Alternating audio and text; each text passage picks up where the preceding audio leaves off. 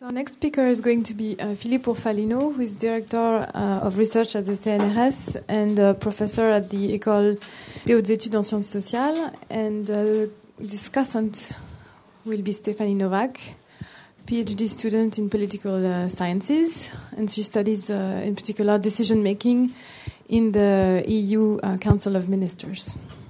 So, my paper is about collective decision and a special kind, uh, collective decision of special groups, uh, committees, or commissions, uh, which I call uh, aréopage, but it's not, uh, it's not very important. So, uh, my question is how best to foster collective wisdom in collectives of the wise? The question is for this kind of committees of sages, of wise, of experts, which have important decision to make for a social group. So, just uh, uh, some point of definition. Areopages are groups that deliberate to make decisions or advices that are applicable, applicable to a larger group. Members of, this commi- of these committees are appointed rather than elected, and they are appointed, appointed first and foremost for their competence. Third, the collective work of these committees bears on to both the decision itself and argumentation to justify that decision. Uh, the, the committees has to the, the committees have to produce decision and reasons and justification of the decisions. And fourth point, individual members have to practice the, the discipline of arguing in a special way their position in accordance with uh, certain validity requirements. Uh, these requirements constitute a kind of argumentative discipline uh, which can be characterized by the four points justifications, reasons override motives. Secondly, the, ju- the justification has to be uh, substantial. It's not enough to say, I am for X because of a reason Y. It's not enough. You, have, you need to have a line of reasoning. The argumentation has also to be appropriate. There is a, a specialized argumentation linked to the issues of the committee. And finally, there is a contextual validity that uh, depends of each case at hand. So, what is the problem of such committees? As unanimity is quite scarce, uh, a collective decision making rule is needed.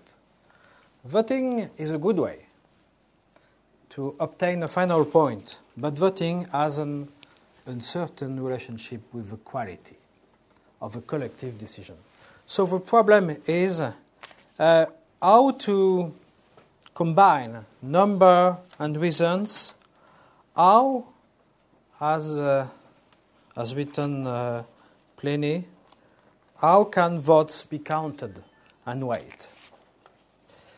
Uh, maybe we can see what have uh, what the, the Western monastic orders uh, gave us as listens.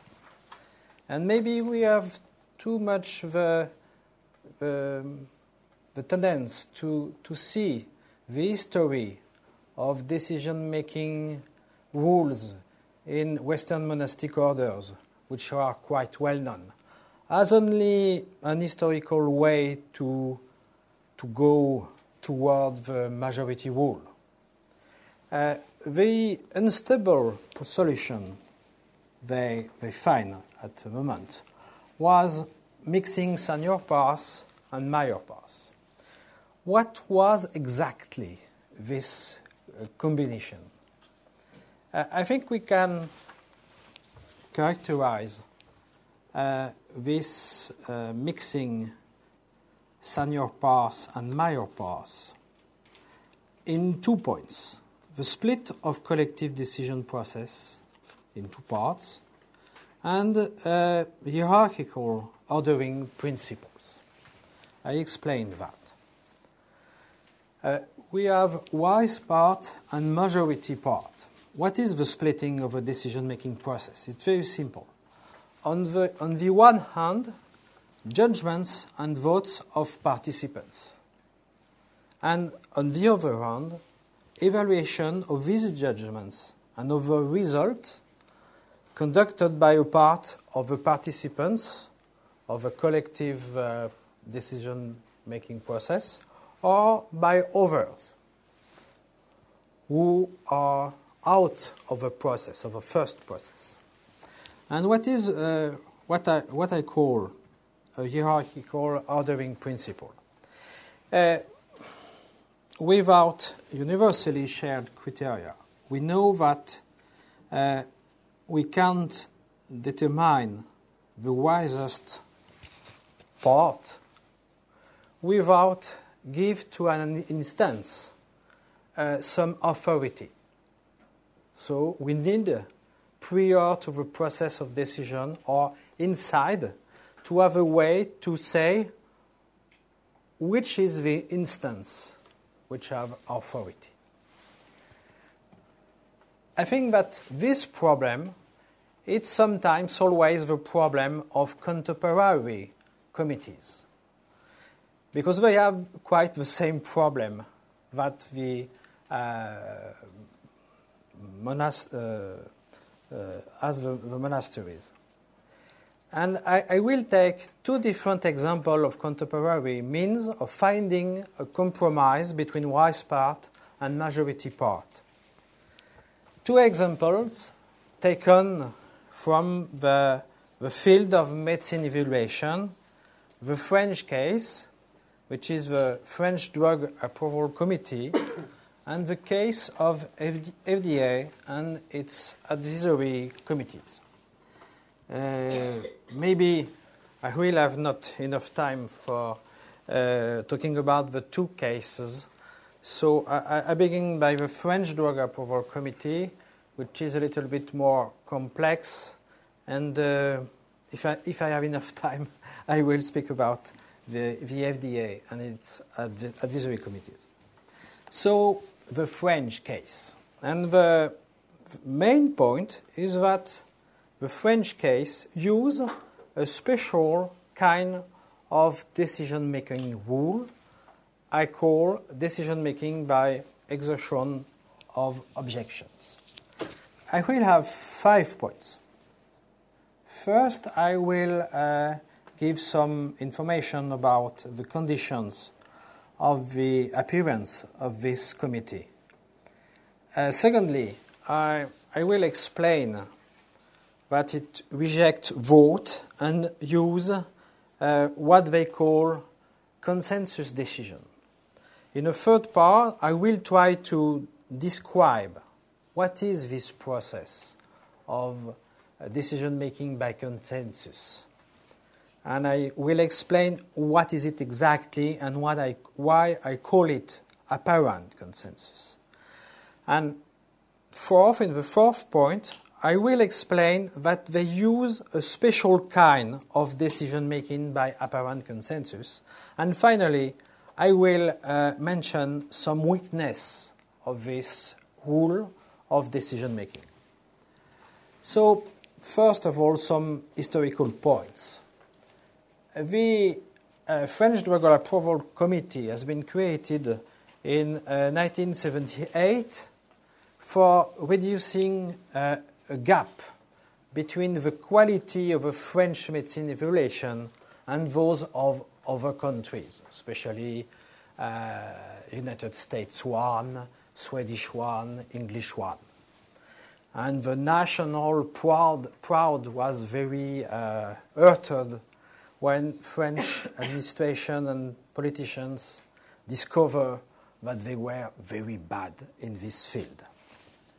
Uh, so uh, the, com- the, committee has has been composed of a new generation of experts who have learned for the first time a new discipline, which was clinical pharmacology, and who were uh, who, who, had the competence to uh, perform the new kind of evaluation of medicine which was appearing at this moment. But the administration has not the finance to hire these people. So they were put, put in together in a, in a committee uh, with a meeting every month, every, two weeks. But they, they worked and they work uh, always in hospitals uh, and other places.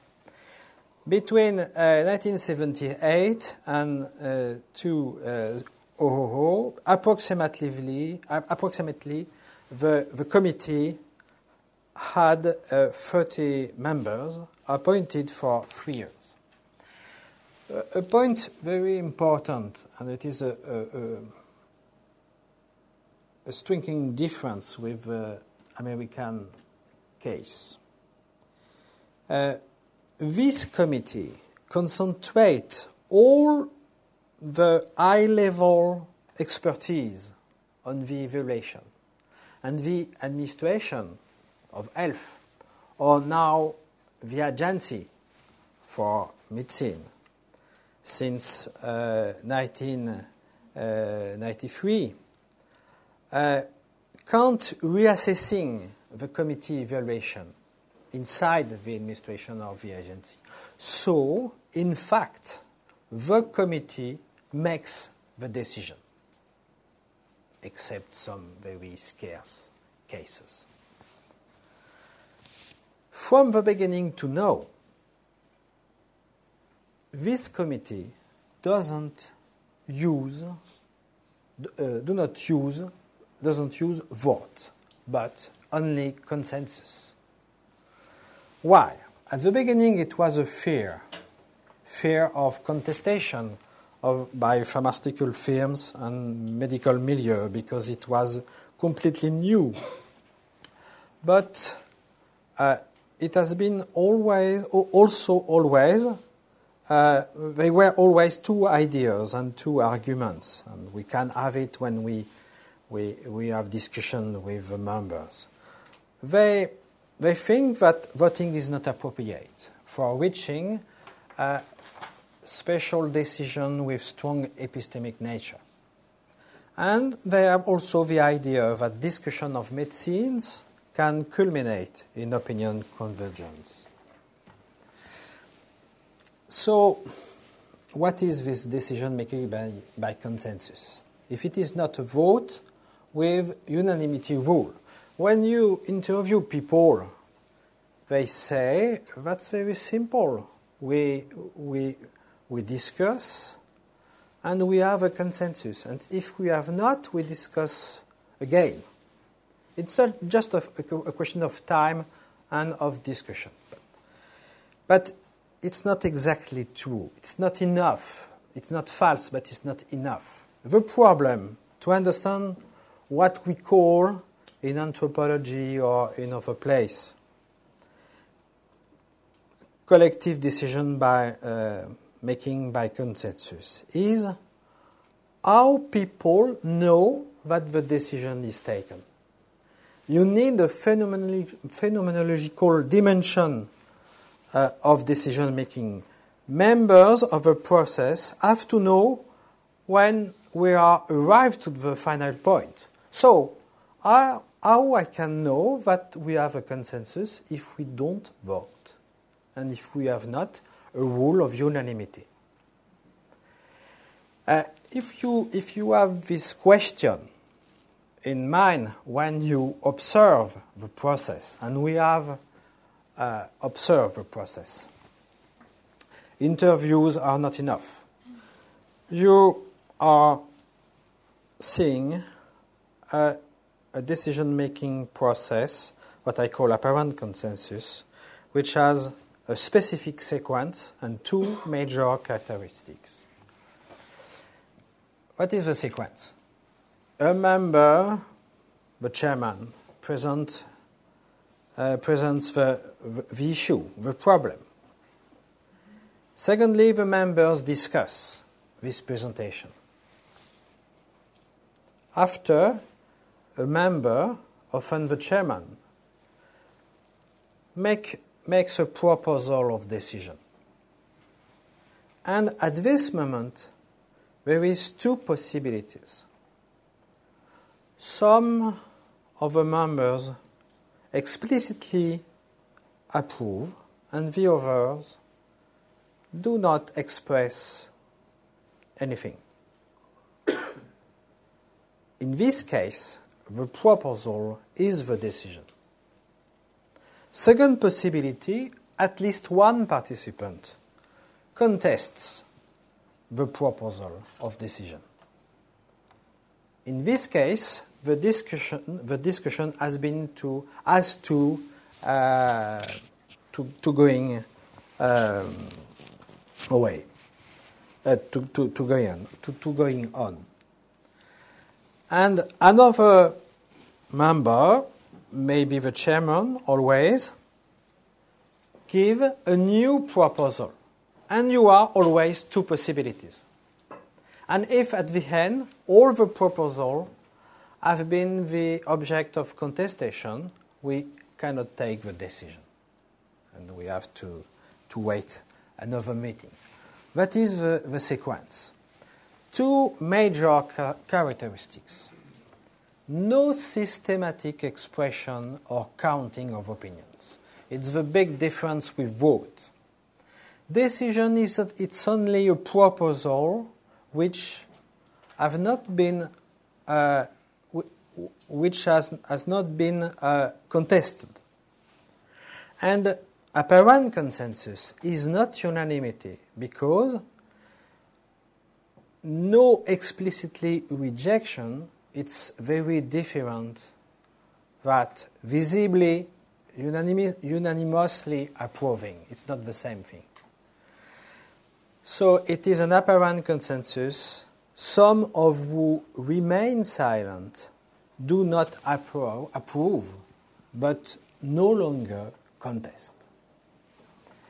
This is what I call apparent consensus, and we can find this process in very different cases African palaver, international organization, and uh, many, in many places.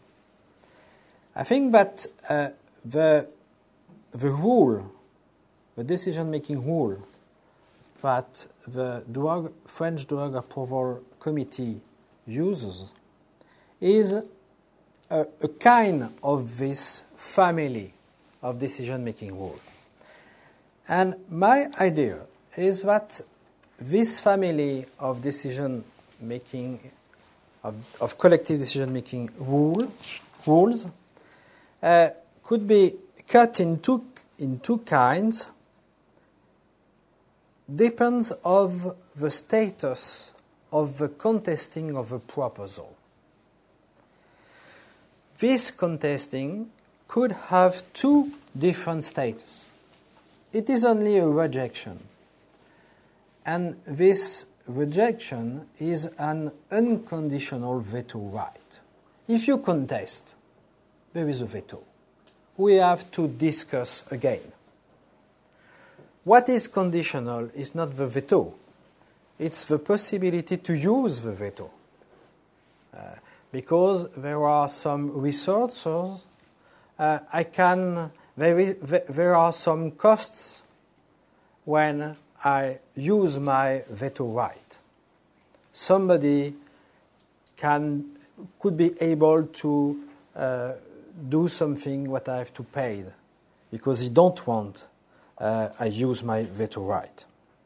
So this un- unconditional veto right could be the point of departure of bargaining. Uh, it's that uh, Sherif El Hakim and James Coleman have uh, well seen uh, about uh, consensus decision. But there is another status for the contesting of a proposal, which is an objection. In this case, the veto is conditional. The objection has to be accepted, has to be deemed valid by others. But the use of objection is not conditioned by resources or licit bargaining, because we are in cases where, usually, and in a legitimate way, there is no interest. You have no cost or benefit or benefit uh, linked to the decision that uh, will reach will reach after the process. Uh, let's see more some more points about about this decision by exhaustion of objections. What is the, the meaning of a silence of a member facing a proposal? I think that uh, when a member remains silent facing a proposal of decision, there is three situations, uh, three possible situations. First, he is convinced, so he could approve, but he could he can also uh, do nothing, not expressing nothing. The other possibility is that he doesn't know what is good, what is the good decision. He has not, he has not worked enough, or he is not competent enough on the special issue of the day. So he delegates his judgment to the other. And the third uh, possibility is that the member is not convinced, but he doesn't have a good argument. You know? Uh, he's not convinced by the proposal, but he has no good argument. And he can contest, he cannot contest without what he, he deems to be a good argument. An argument that would be uh, accepted by the others.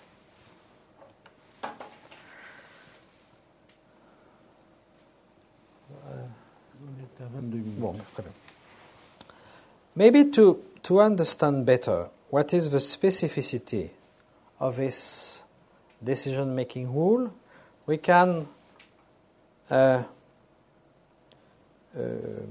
project the categories of vote on this rule. Uh, and uh, uh, I, I, make this, uh, this picture. what's happened facing a proposal of decision.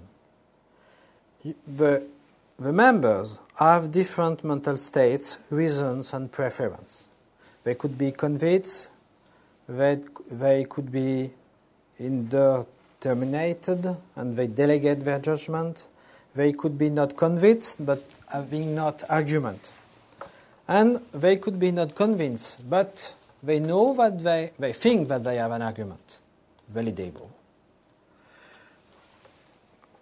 After you have the expressions, when you are in a, in a, in a, in a case, the case of uh, the three possibilities, your expressions could be explicit approval or no expression. You have no expression. What is the value of this expression? The value is that is in favor of a proposal as it stands. It's only when you have argument and you use it to contest, to object, that you, your expression is an explicit disapproval, and this expression counts as uh, an expression against the proposal as it stands. So it's a special case because you can see that the in the vocabulary of vote, the vote yes, the vote abstain, the vote no, but no argument are in the vote yes. Okay? In which way can we say that it is a little bit like uh, mixing senior parts with major parts? Major. Uh, we have the splitting of the collective decision process. The objective minority, because it is always uh, one people, one member, two or three, who at a moment facing a proposal, at a moment of a process, who object. The, when you have a proposal, facing of a proposal, you have a kind of a distribution of uh, mental states, reasons, and preference. And you have some expression, as I have shown in the, the, the last uh, slide.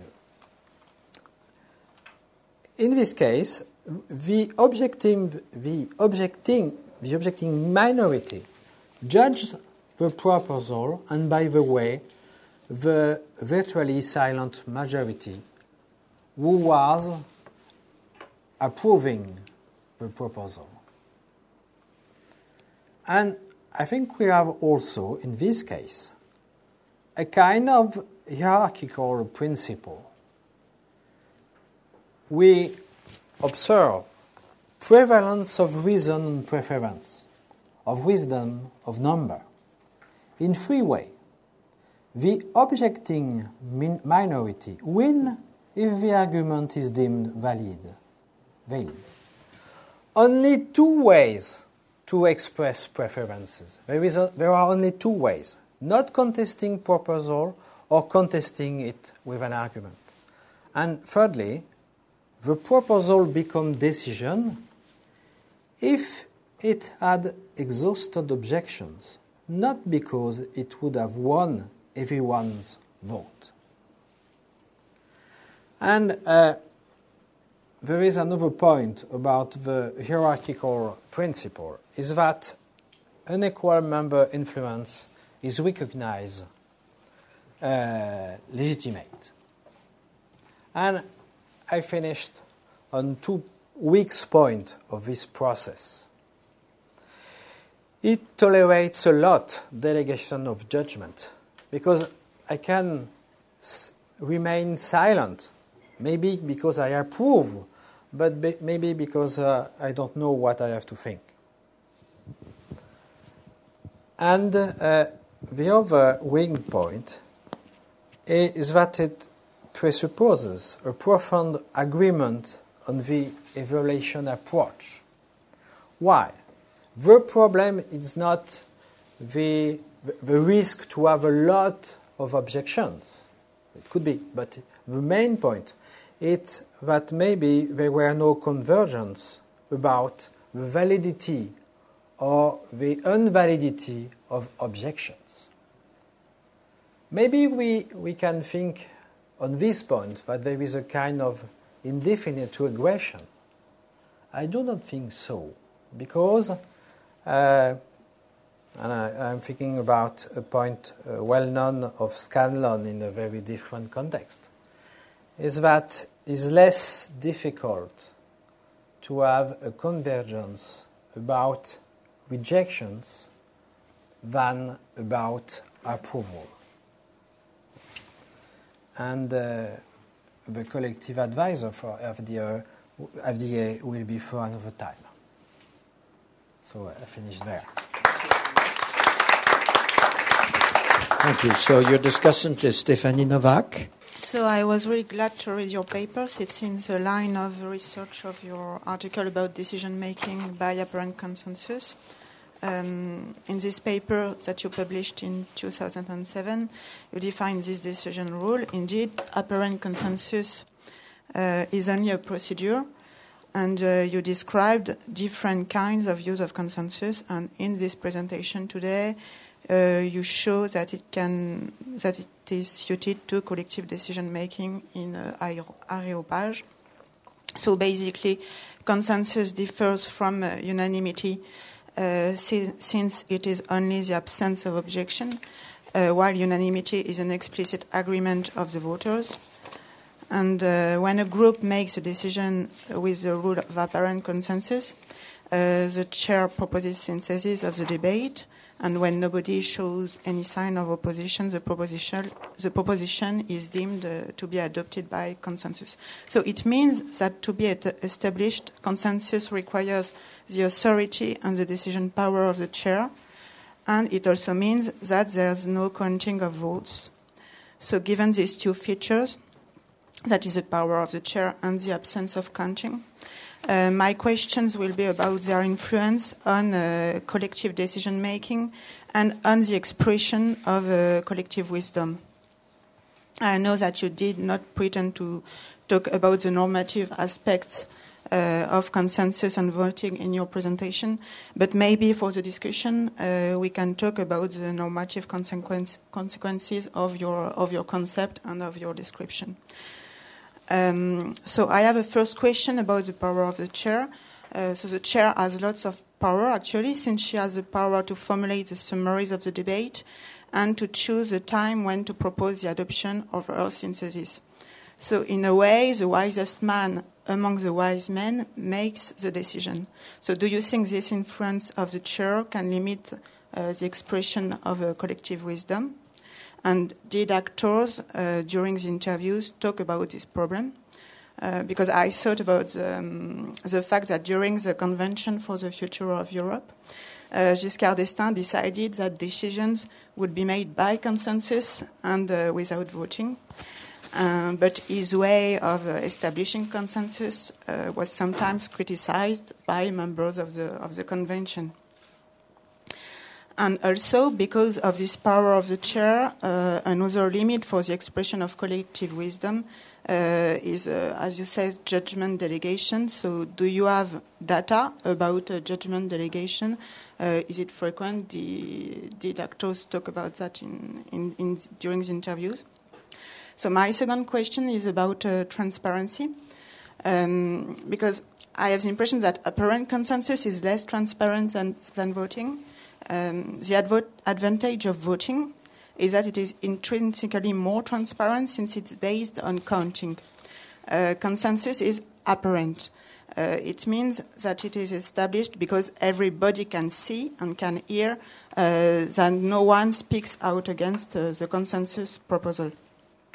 But um, do you think that to counterbalance uh, the power of the chair and, uh, in a way, the lack of transparency of consensus, uh, the openness and the transparency of sessions could be a solution? Um, I, I ask this, I'm asking this question because I'm puzzled by the fact. Uh, so you didn't talk about the two committees, uh, but um, about both committees in your presentation. But in your paper, uh, I noticed that the French committee is decided by consensus and their sessions are not public, while the American advisory, advisory committees uh, do vote and their sessions are public. Uh, so, am I right uh, with this in this, distinction? And do you think that there could be a, an explanation to to this link uh, between consensus and um, the fact that it is not open on a side, and uh, voting and the fact that it is transparent uh, on the other side. Um, thirdly, I've got a, a remark. Um, so in your paper, you, you quote experts and you and their explanations about the fact uh, that uh, they, they try to explain why they do not vote. And the French experts uh, give, I have the impression that they give biased reasons. They say that they do not vote because it would not be legitimate that people who are more specialized have the same influence as uh, less specialist people. But in fact, voting does not imply uh, the equality of the voters. Uh, there could be a weighting of votes. Uh, and besides, they say that they don't vote because they attempt to reach agreement. Uh, but there are unanimous votes. Uh, voting does not prevent from reaching agreement. Um, so I, I, have the impression that the true reason why they do not vote is that they do not want to count. uh, since they want to argue, they cannot, uh, they cannot count. Uh, and maybe they give these biased reasons uh, for not voting because uh, they do not have in mind other categories um, of decision rules than the, than the ones the ones which are based on counting. Um, finally, uh, as I told you, I um, I saw that uh, in your paper you show uh, that uh, there there cannot be a, a majority which is right. Uh, and so you, because that's what says uh, Benedictus, and I found it weird, but in fact, your demonstration on this point is quite is quite bright. Uh, and so you say that only a minority can be right. So in your in your um, um, in your in your tables, you you you you use uh, the expression an objecting minority, but finally, I'm not sure about uh, this expression. Maybe there can be a, an objecting majority uh, of members uh, who can be right. Thank you. Okay. Uh, thanks a lot for these uh, four or five very good questions. Um, first, about the power of a chairman and uh, its consequences about the maybe the collective wisdom. First, uh, I have to say that uh, yes, he has a lot of influence and he, have he has a lot of, of work uh, to formulate the proposal and to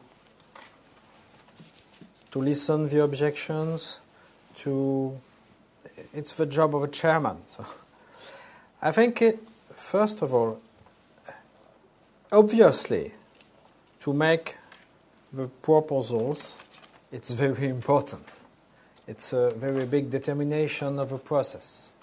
But it's not all the, the power in the game. Because it's not enough to, to give the proposal. You have to give a very good proposal because if you are not good enough, you are very quickly completely ridiculous because you have a lot of objections. And uh, I have some reports made by one of my students about a similar kind of uh, uh, committee with the same rule and the president is not the chairman is not good, and it's a complete disorder.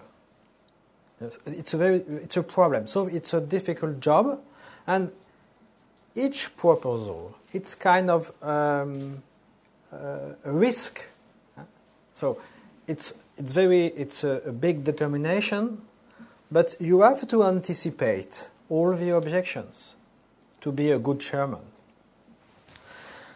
And I think uh, uh, too much good chairman could absorb too much of a process. And a bad chairman uh, produce disorder and uh, maybe bad decisions. So it is for the, the first question. The second question is linked with the first. Uh, the delegation is of a profit of colleague. My, my colleague, the other member, is more competent uh, on these medicines. You know, in, in, a meeting, they have to make decisions about maybe 10, 5 medicines. That depends of the importance of, uh, of the issue. And for one medicines, the member uh, feels competent and he, he has worked a lot about the information, the data, and is completely committed in the process. And uh, 30 minutes after, we are discussing about another medicines. It's not his field. He worked, he worked less and he delegates to the other. But the problem it's, it's that as the chairman has to be very competent. It could be, uh, we could have a deterioration of a process. The chairman and his team are very competent, and there is a gap bit of competence between the chairman, its, his team, and the others. And we are in another uh, game. We have a team of uh, uh, a few people completely committed in the process, very competent. We are only testing their idea, their proposal to a more uh, to a larger team of less committed and less competent people, and it's only a process of uh, information testing, you know. Uh, transparency. I, I, I, forgot to say that uh, that you have said. Uh, we are in the case of secrecy, and uh, the members have to not speak about the discussion inside the process. Uh, I, I don't see why. I think it's, it was a French tradition. The pharmaceutical industry was absolutely against uh, publicity. And I think they are wrong because I think that now their interest is publicity. Uh, but uh, I, I, don't know exactly uh, why they uh, maintain secrecy. I have a, a, an hypothesis. It is that we are in French and not in the United States. And the conflict is less strong in France. In France, even if you have an agency, its administration, we can contest too much. In the United States, the agency is always the target of very strong attacks. And the, the, trans, the, the transparency is quite a, a, a, good protection for a moment. And finally, about the experts and the minority, um, well, I don't know if it is a, a, a true idea or a joke. I don't, I don't know exactly. Uh, I explained that, but maybe it's not enough important. You know that uh, Benedict uh, uh was uh, speaking about three cases. Uh, the three cases were unanimity who made the good choice, the right decision. Unanimity or majority who uh, make the bad choice, the unwise decision, and the minority who made the good choice, the senior minority.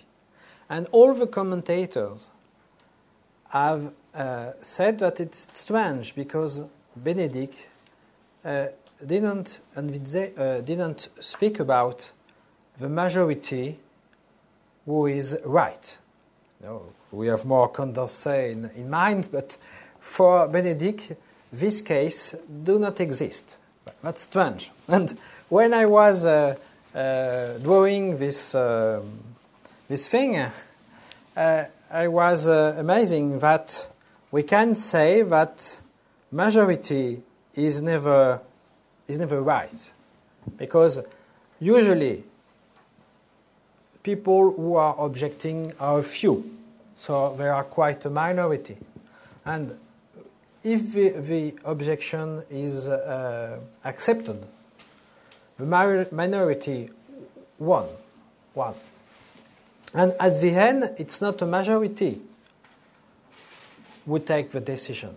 It is uh, an apparent unanimity. Wow.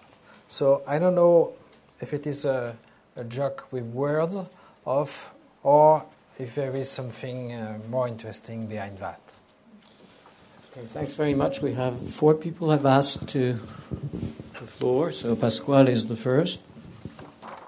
Yes, I, I find your analysis extremely interesting. As you know, I've been trying to show that the constitutional courts, notably in Germany and Italy, use the same process for decision making. I think we should stress probably that this mechanism of decision making requires a special size of the group. So only a very small group of people can use that. And I want to focus, I have a lot of other comments, but I want to uh, pick up one question asked by uh, Madame Novak the normative dimension. I'm strongly persuaded that such a committee, for normative reason, cannot use majority rule.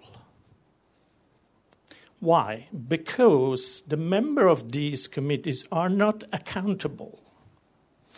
Elected officials are accountable. Majority is under the control of the voters. Now, these people are not, so they have no legitimacy to impose the will or even the competence of a section, even the majority of the body. They must find, they ought to find a consensus. Then there are a lot of other aspects we should stress more, notably that the members of this committee are not equal like the voters, because when people start to argue, they immediately stop being equal. Voters are micro sovereigns, they are equal among them because they don't need to explain why they are voting like they are voting. These guys, as you said many times, they only have the instrument of arguments. If they do not have arguments, they count for nothing. And if they have weak arguments, they count for less. For a part, I agree with you. But there is a problem. There, is, there are other cases we vote. The Supreme Court, the Supreme Courts in America. And I have another case I have to study now. It is the Drug Approval Committee in the European Agency. They vote. That's uh, point. I think this yes. wrong. Yes, but, but, but, they have, but, they have the same, but they have the same normative problem, and they can vote. And I think that's behind there is a, a, a normative dimension, which is the, the status of conflict. If they vote, do they need unanimity or just majority? No, majority, majority, majority. And they, they, they give reasons. But uh, I think behind, but we have not enough, enough time. We don't have much time. Uh, there is the status of conflict. Yeah, you, we'll, we'll have a, a, break just after so we can continue. Um, well, I accept uh, Pasquale's point about accountability, but comparing majority rule and, and consensus rule, there's nothing that precludes argument being used in a majority committee. So the essential difference between majority and consensus is not argumentation. The essential difference is the voting rule, whether it's majority rule or unanimity rule. And um, um, when you that list that you have of the of silence, the the three reasons for the members to be silent, that's not an exhaustive list because there's a fourth option that one could think that the consensus proposal is wrong um, but acquiesce to avoid retaliation on future consensus votes, which people are prone to do um, in consensus decision making, as I know from experience, or in fear of social sanctions. Um, and just to be quick, to come back to the point about you say that the, the decision rule is not unanimity rule, but unanimity rule and veto by one person are, lo- are, are, are are logically equivalent. I don't see how they are not logically equivalent. So for you, there is uh, some bridge between objection and rejection. Uh, in the sense that even with objection, you can have bargaining about the objection. We can fear retaliation, retaliation yeah. if I object. Yes. Uh, in the case I was studying, I think there is no this problem. Because, except if people are uh, hide hide uh, interest, mm. personal uh, agendas, yeah. and except if there are some hidden bargaining of interest. Uh, we approve these drugs and I leave the approval of the others. Maybe uh, in this case, we are, for me, in the case of rejection. But it's a case that we could imagine. Uh, I think it's a, I, I, I agree with the possibility of this case. I don't think it is the case I have studied. No, I have studied. But uh, I agree with uh, the, the, the, relevancy of this, uh, of this configuration. Christian, this. Yeah, my point actually connects with Jerry's um, point. It's sometimes conceptually useful to draw a distinction between a balloting procedure on the one hand and an aggregation procedure on the other hand, where the package of the two of them forms a fully fledged voting procedure. Um, now, um, one way to think about your um, proposal is like this. The balloting procedure is the procedure that describes how the signals that um, individuals uh, express to the aggregation procedure are precisely revealed, how they are solicited, and so on. The aggregation procedure determines how those signals, um, once they have been expressed, are counted and, and you know, translated into the resulting collective decision.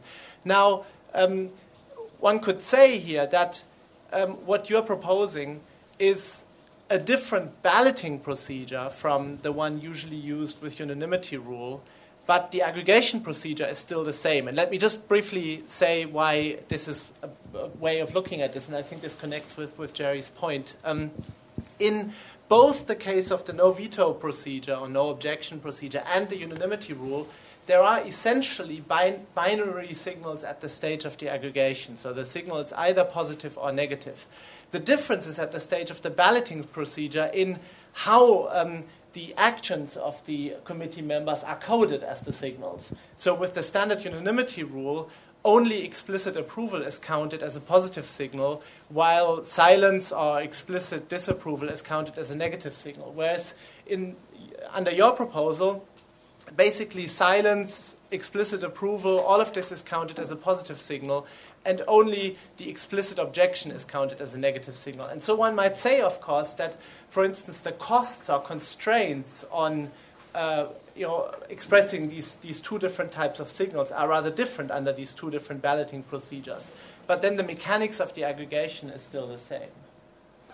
Okay. It could be contingent on his case. You, it could be contingent on your case. You could easily have a consensus procedure which started accidentally with the tradition of the chair calling for unanimity or started accidentally from the chair asking for objections. Sorry.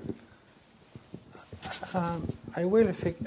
I will think about uh, your suggestion, but um, I will be interested in to to to be able to to to have an aggregation model. But uh, there is the problem of the validity of the objection.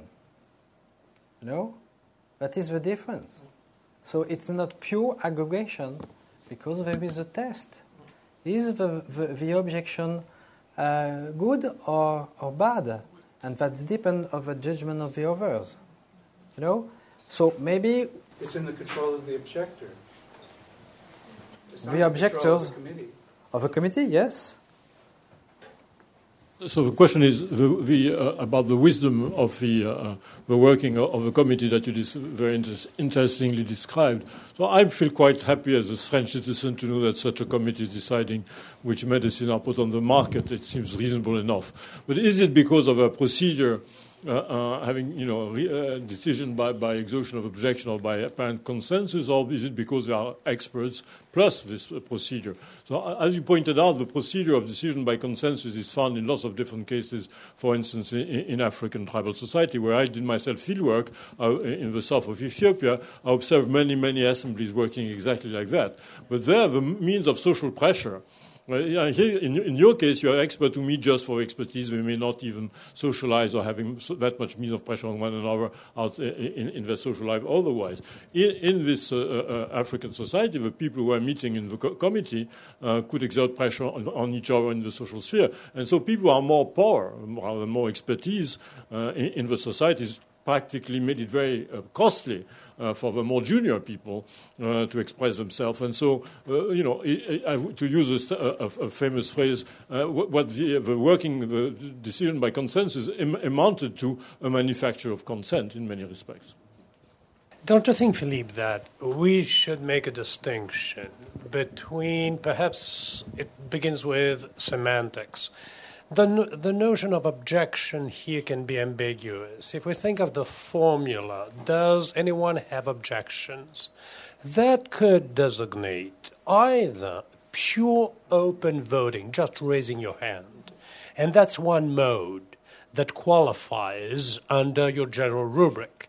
Now, there is another version of it in which objection is understood in a more substantive sense, in the sense of the reason giving requirement, or rather, that would be the objection raising requirement, but in a substantial way, that is, you have to give a good reason against. And these two things are not the same. So that uh, I think it would clarify the conceptual structure if we said that your the generic category of your de- decision, your new decision making rule by consensus, consists in making a decision or reaching a decision when no one is opposing it. And it can be, you know, it can go exactly along your lines. The, the chair synth- synthesizes the previous discussion and then says, Does anyone object? Just raising your hands. That's the generic mode. And there's that, a, version, a subversion of this, is that plus the reason giving requirement, or rather, the objection or the substantial objection raising requirement. That would be, I suspect, you know, combining major and sanior pars. I'm sorry, it's not a, not quite a question, but would you just, as people say in these circumstances, would you agree with that characterization? not quite a question and not quite short, I must say. Anyway, Philippe, yes. you have the last no, word. I, I, agree completely. Maybe in my talk I was not uh, enough uh, explicit, but I think in the paper the idea is that objection is giving reasons.